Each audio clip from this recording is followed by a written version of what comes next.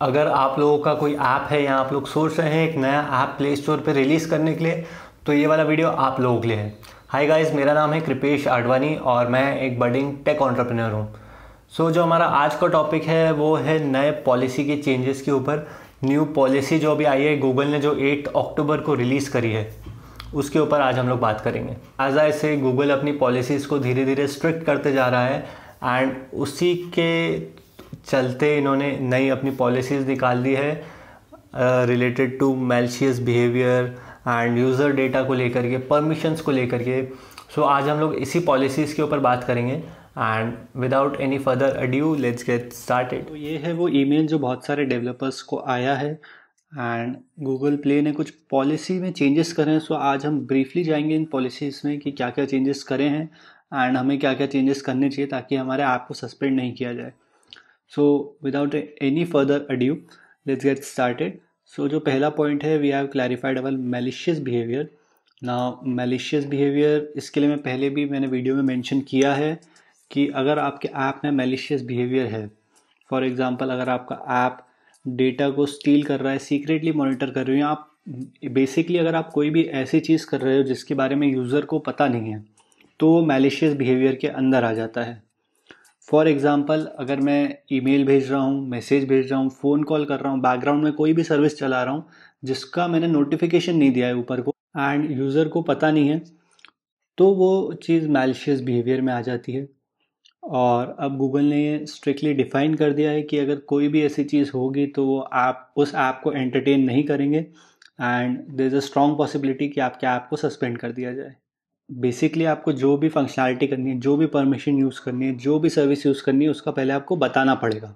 Second policy जो इन्होंने बताई है, वो है डिज़ाइन फॉर फैमिलीज़ के ऊपर कि अगर आपका ऐप जो ऐसा है, जो अंडर थर्टीन के यूज़र्स को सर्व कर रहा है, जो प्राइमरी जो चिल्ड्रन के लिए बनाया गया है तो फिर आपको वो चीज़ बतानी पड़ेगी, अपने ऐप में मेंशन करना पड़ेगा और वो सारी पॉलिसीज़ भी फॉलो करनी पड़ेगी।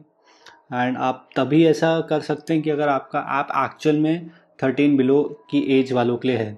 अगर आप लोग, अगर आप लोग उसको मिस रिप्रेजेंट करेंगे, या अगर आप लोग कहेंगे कि हाँ मेरा ऐप फैमिली के लिए सूटेबल है बट अंडर थर्टीन के लोग उसे नहीं देख सकते तो फिर वो मिस रिप्रेजेंटेशन में आ जाएगा। एंड रिमूवल या आपके ऐप को सस्पेंड किया जा सकता है। सो आई रिकमेंड कि अपने ऐप को कभी ऐसा मत शो करो, क्योंकि इसमें काफ़ी सारी पॉलिसीज़ आ जाती है कोपा में। सो आपको ये सारी पॉलिसीज़ कोपा की फॉलो करनी पड़ेगी अगर आपको अंडर थर्टीन डालना है तो। थर्ड जो है ये इंपॉर्टेंट पॉलिसी है, ये भी मैलशियस बिहेवियर से ही रिलेटेड है बट ये अलग से इंपॉर्टेंट पॉलिसी है, बहुत ही इंपॉर्टेंट पॉलिसी है। इसमें यूज़र डेटा और परमिशन के बारे में इन्होंने कुछ नई पॉलिसीज़ निकाली है। एंड इट्स बेसिकली अगर आप यूज़र डेटा को यूज़ कर रहे हैं तो आपको ये बताना पड़ेगा कि आप कौन कौन सी इन्फॉर्मेशन कलेक्ट कर रहे हैं, उसको कहाँ कहाँ यूज़ कर रहे हैं कैसे कैसे उसको एंड डिस्क्लोज कर रहे हैं कहाँ पे क्या मार्केटिंग में यूज़ कर रहे हैं आप उसे कैसे यूज़ कर रहे हैं उस इन्फॉर्मेशन को वो चीज़ आपको अपनी प्राइवेसी पॉलिसी में बतानी पड़ेगी।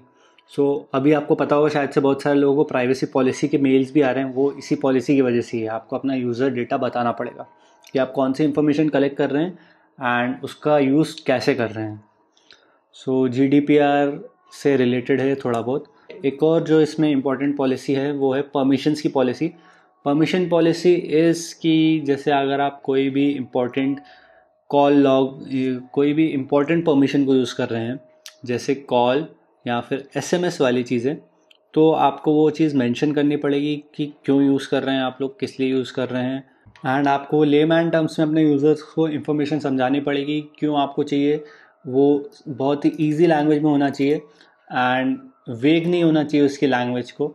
और अगर आप लोग वो इन्फॉर्मेशन किसी और पर्पज़ के लिए यूज़ करते हैं जैसे आपने परमिशन मांगी कि मेरे को कॉल चाहिए कॉल हिस्ट्री चाहिए आपकी फ़ोन बुक के लिए कि मैं आपका फ़ोन बुक ऐप बना रहा हूँ मेरे को उसके लिए कॉल हिस्ट्री चाहिए। बट देन आप उस फ़ोन बुक से इंफॉर्मेशन एक्सट्रैक्ट करके अपने डेटाबेस में भी सेव कर रहे हैं। सो so, अगर आप लोग ये चीज़ कर रहे हैं तो आपने इसके लिए एक्चुअल में परमिशन नहीं मांगी थी। तो अब आपको इसके लिए या फिर अलग से परमिशन लेनी पड़ेगी। या फिर आप, अगर आप ऐसा करते हैं, अगर आप वो वाली चीज़ें को उठा के रखते हैं कहीं और तो आपके ऐप को रिमूव या सस्पेंड किया जा सकता है। लास्ट पॉलिसी है इन्फोर्समेंट सेक्शन के ऊपर एंड इट्स बेसिकली कि अब जो इस पॉलिसी का ये मतलब है कि अब जो गूगल कर रहा है, वो ये है कि अब वो धीरे धीरे स्ट्रिक्ट होते जा रहा है।